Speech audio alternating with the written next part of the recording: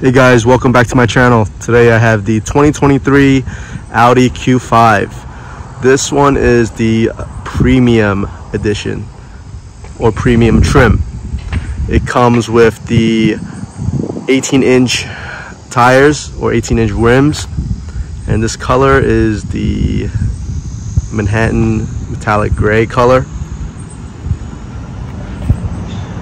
It's a nice compact luxury SUV can see the sleek lines across the side of the driver and passenger that leads all the way up to the front of the hood to the headlights, the LED headlights. You do have the black grille in the front with the Audi emblem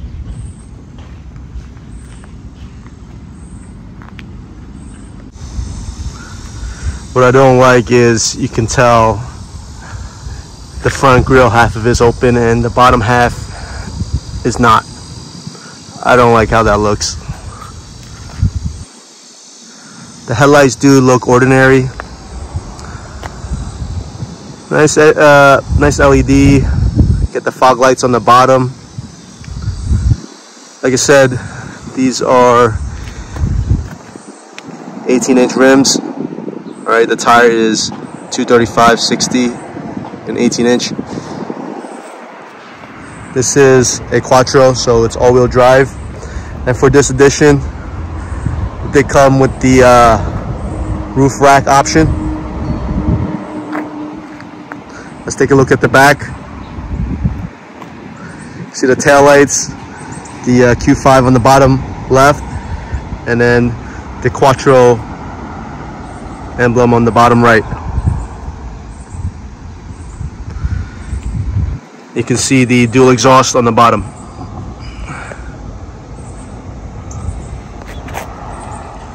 Now let's take a look at the interior of this vehicle. And you see you got this plastic uh, door panel trim with the uh, wood over here.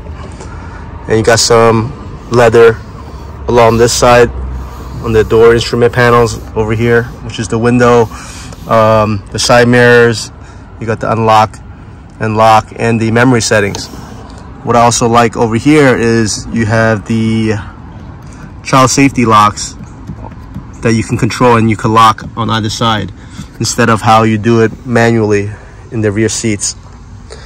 And inside the interior, it boasts the uh, gray leather seats with the gray stitching feels comfortable. Pretty nice. And along the dash is your regular uh, regular just trim regular material.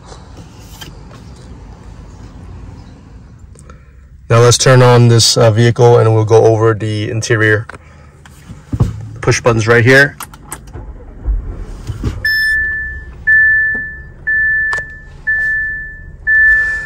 The steering wheel feels nice. Could be a little bit thicker, but all in all, nice leather around the steering wheel. Got the Audi uh, symbol, the Audi emblem right here. And then here is your uh, scrolling through the menu and also the uh, preset stations. Um, you could view, you know, inside your dashboard uh, like the fuel economy, the speed. And on this side, you've got the heating steering wheel, definitely a bonus for the winter time.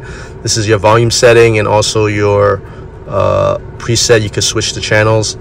Here's your um, voice recognition, Bluetooth. And here are your analog clusters, which I do like right the tachometer and also the speedometer. You do have the digital uh, fuel gauge. And on on the side is the uh, headlights. And you have the uh, paddle shifters in the back right here. Let's move on to this 10.1 inch touchscreen. This allows you to you know, cycle through your radio, different settings, uh, navigation. It's very responsive, which is I like. And this does come with uh, Apple CarPlay and Android Auto. Right now you can go to the radio.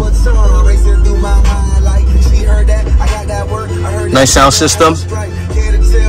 Here is actually the uh, button for the volume over here in addition to scrolling for the volume down here.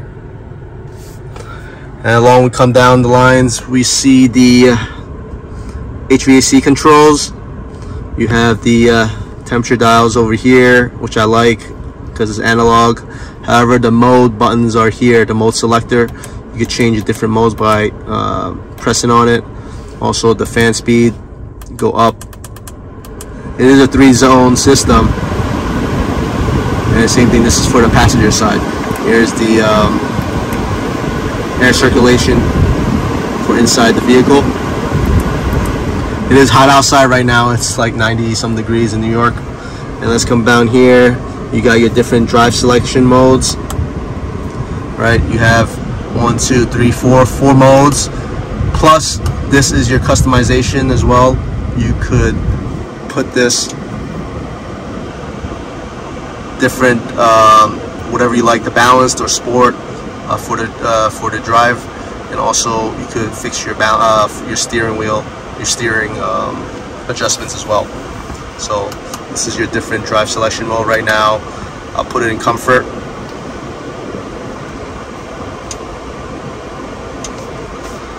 Right. And then your automatic start stop and your traction. And let's come down here. Oh, this is a little storage space on both over here and here. Not big enough. And you also have your 12 volt charger over here. And this is your gearbox pretty meaty. Uh, I do like this square or rectangular gear selector or gear handle on the top. Uh, you do have your different modes right here, or different gears, sorry. Got the park, reverse, neutral, drive, and the parking brake here. And then you got your cup holders over here, two cup holders. And we lead to this big armrest. I like it, you know. The bigger the armrest, the better it feels. And the storage inside, it's not as big, you know, it's for small stuff. Uh, it's not that deep either, so you can't put too much stuff over here. And then the this let's continue through the dash over here. You got the Quattro badge over here. You got your uh, glove box and your different um, well, your simpler uh, passenger um, door panel with the um, unlock and lock and also the window function. Coming back to the uh, passenger side seat, there's leather seats. It feels really nice. It's comfy. It's comfortable. Stitching is nice. Right now it's hot because got the sun burning on the leather right now. So all in all, the interior is quite nice. Right now we'll check the rear seats. As you can see, the the door trim continues throughout in the back you only have the window opener over here on the side you got your speakers and the gray leather seating and stitching continues in the rear seat as well let's check out the leg room right now pretty spacious I have about four inches of leg room, uh, which feels pretty quite comfortable in the back. My headspace over here is about two three inches, so I'm 5'9 once again. It is a compact SUV, but it's a comfortable seating over here for five. Now, here are your vents for the rear passenger and your controls on the uh, fan speed. And you got a 12 volt charger, and some USBs over here. And you, this car does come equipped with the panoramic sunroof. It's a nice feature. And this is the, the sunshade or the roof shade. Uh, if you want to just open this up, you could have a panoramic view. And up here is your door handle. And along this side, the same uh, trim and window button there. All in all, the rear is, quite spacious. It doesn't feel cramped. And the seats feels nice. Let's check out the trunk.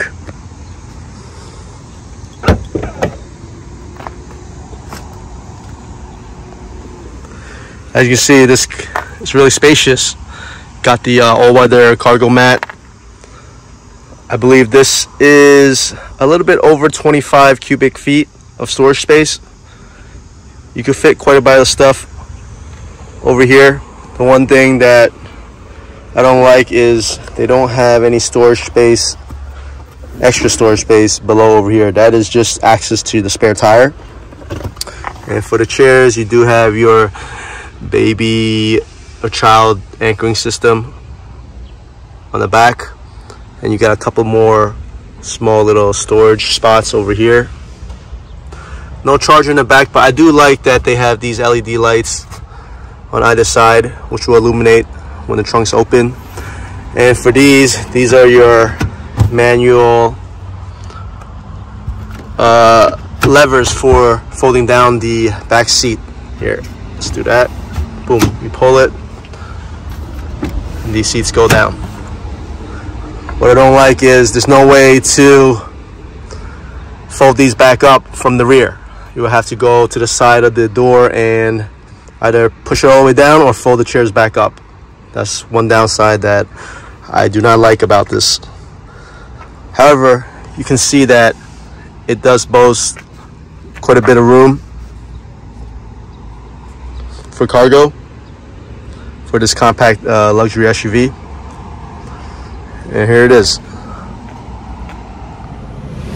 All right, guys, let's take this vehicle out for a drive and let's see how it does. It's my first time driving this uh, Q5. Right now it's smooth in comfort mode.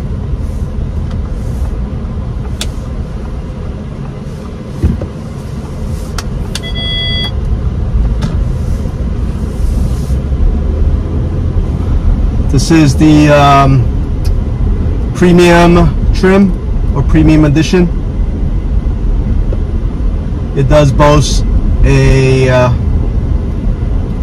201 horsepower engine, 2.0 liter turbocharger, and it produces 236 pound-feet of torque. 0 to 60 in about 7 seconds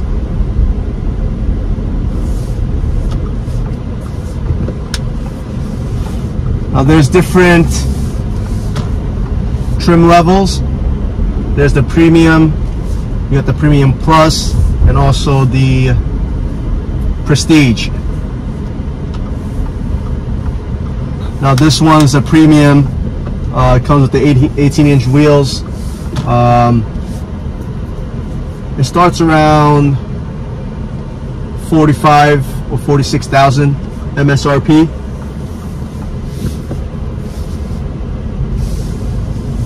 And this one over here after after everything out the door it's a little bit over 50 grand. Right now the drive is very comfortable. The seating the seating is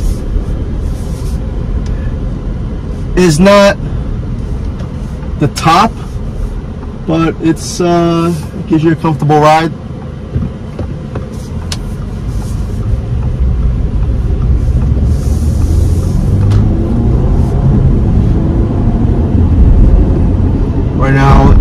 It is in comfortable setting or comfort setting. Let's try to switch it up to dynamic.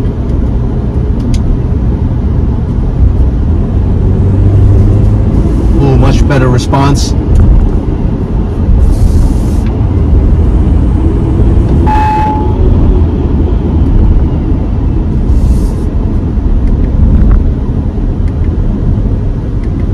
Using the paddle shift right now. Let's see how quick this goes. All the Q5 come with the Quattro uh, all-wheel drive.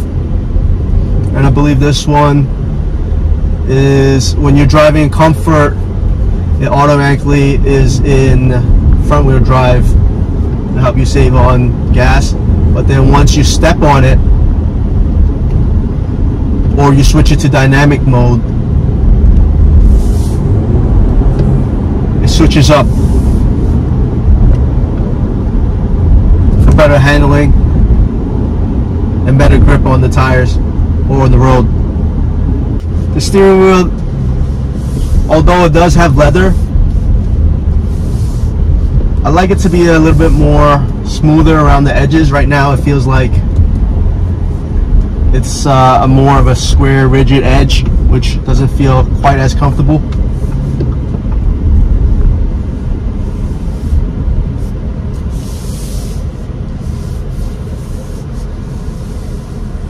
But the leather does feel nice. You said the sound system let me pop off. Leave club, sloppy drunk, come home and get my rocks out. Heard from the south, he trying to see me knock his socks him, it's definitely nice quality.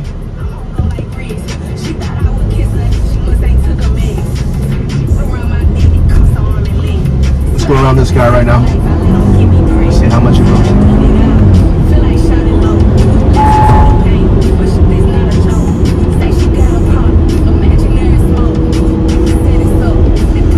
Right now the speed there's some kind of setting here which limits the speed to right below 55 or right at 55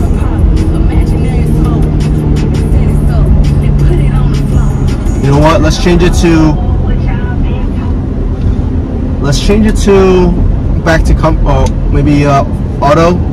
Let's see how um, how responsive or how the downshift will be for this.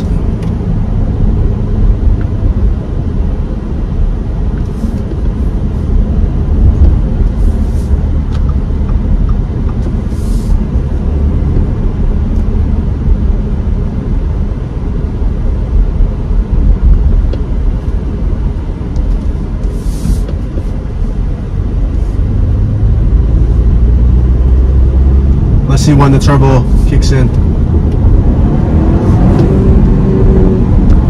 One or two seconds before it throttles down. Which is pretty nice um, I mean given it's only uh, 201 horsepower. Right now I am using the it's in manual mode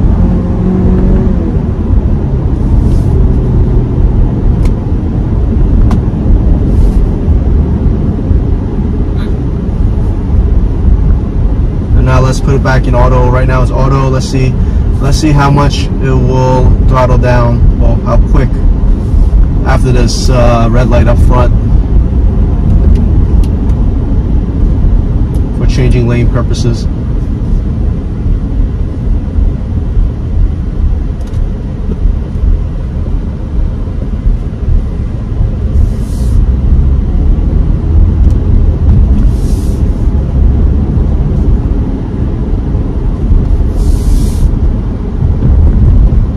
Now the steering and the handling is quite nice in this uh, SUV because it's compact.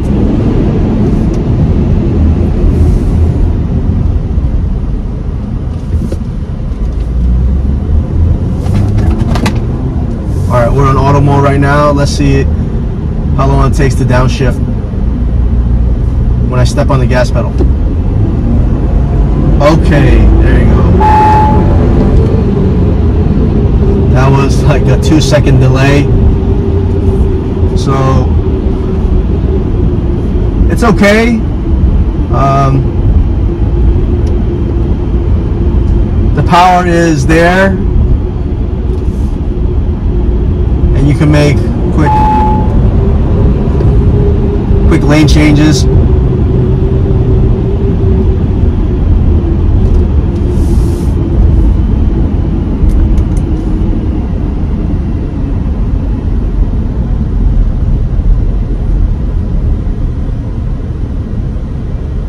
although I wish I do have a little bit more power. Now, uh, just to reiterate, there are three different trim levels. There the, there's the Premium, the Premium Plus, and the Prestige. So right now, this is the Premium, which I said it, it has 201 horsepower. Now, if you go up one trim level to the Premium Plus, that'll give you an extra 60 horsepower and extra 40, uh, 40 more pound-feet of torque,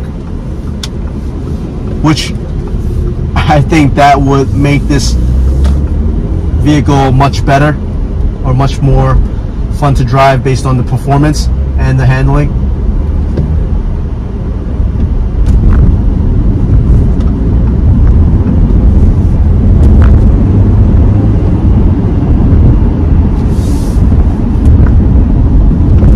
I mean, if you're looking for a luxury level compact vehicle. You do have many options, and this is one of them, the Q5. You do also have the Mercedes GLC. And I would say, um, probably put the uh, BMW X3 alongside of this. I do feel like this is just a little bit or slightly smaller. That's what I get the feeling of when I sit inside.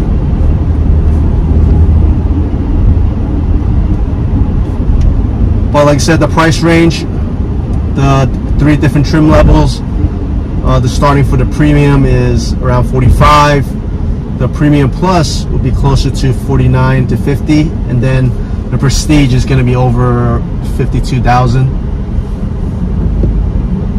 The prestige now that will give you a much higher uh, horsepower, a much uh, better performance for your engine which the horsepower will be over 300. Although I do feel like it lacks some technology, it just doesn't look like it's modernized based on what other manufacturers offer, especially Mercedes and BMW.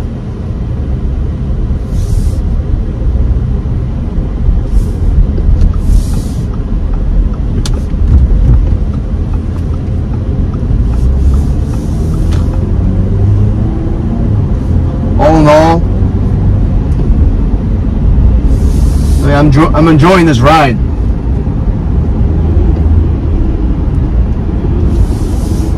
It's a nice daily driver.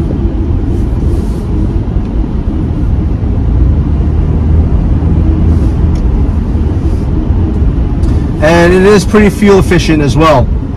The fuel economy for this car is 29 highway, 23 city, and you have a combined 25. Now all depends on your uh, driving quality and how you use the vehicle and what condition it is. But it's pretty nice. It's pretty decent for the fuel range.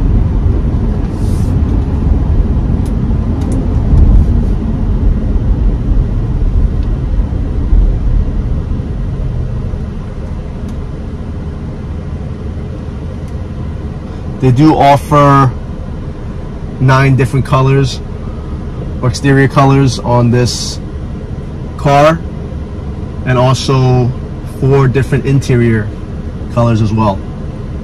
I mean, I do like the lighter interior. However, the the exterior colors uh, I'm not too fond of. Um, everything's like your different shades of gray, black, or white, and that's it. So it's not that many varieties.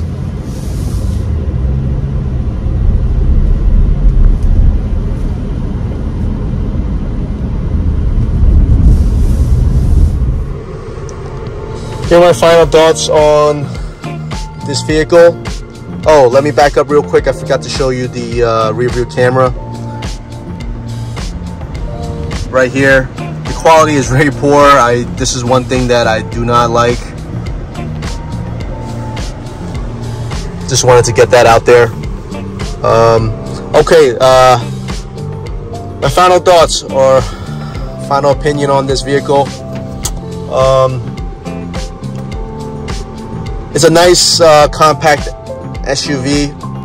It's the luxury side, the Audi Q5. When I sat in the back, I felt comfortable. It was good enough for my height as an adult, uh, 5'9", uh, 200 pounds. Felt comfortable. The seating is nice. The quality of the interior is great. However, um, there are some downsides. Like if you go to this, your infotainment center, your tablet looking touchscreen over here that just looks like it just plopped on top of the dashboard. Um, it's I don't like that look. It's it looks cheap that way. Um, it's just a bad design. Like they should have integrated it into the dashboard itself, which would have made much more sense, and it would have not been. It wouldn't have given this look of something just plopped onto the dashboard. Um, I do like the the analog controls, at least for the ventilation settings. Um, the steering wheel is nicely uh, stitched up with leather. The driving of this vehicle, um, I'm more of the more performance side, but an unbiased opinion, um, the premium is very basic, but it does give you a lot more than uh, a lot more standard features or uh, you know and options than other manufacturers with their standard base level. You know, it does offer quite a lot more. You got the parking sensors, the the rear view camera, the uh, adaptive cruise control, um, Android Auto, everything that you're looking for, you can get in this premium. Um, they made it available in the premium option. Um, when you go up to the premium plus, you do have a bigger size wheel. Uh, I believe it goes to a 19 inch rim. Um, and then obviously it gives you a better, uh, more, more powerful engine. Um, right now for the price range, um, like I said, this does start around mid 40s. Um, I think this is quite around where the other competitors are.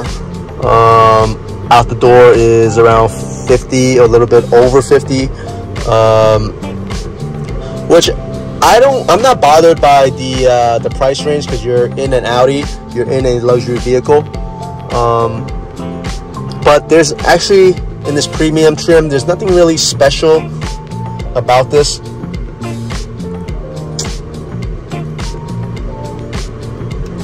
If I was a customer and looking for a car, I would opt to get the Premium Plus version instead. You just want to be in the middle. Um, you get the best of both worlds.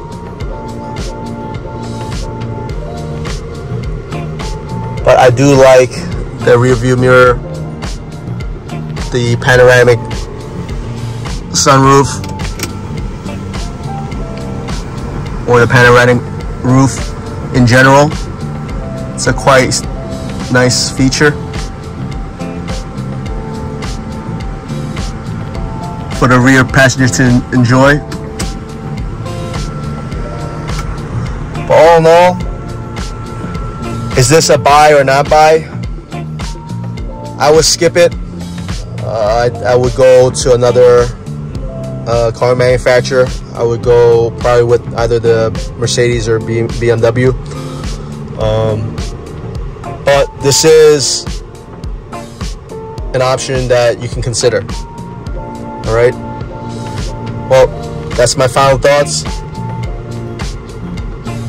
Please like, comment, and subscribe. I appreciate it. I love all your comments that you guys post. Uh, I try to get to every single one of them. Uh, I'm very appreciative of uh, you guys trying to support me, and I enjoy doing all these reviews for you guys. I hope to be able to bring more content to you in the future.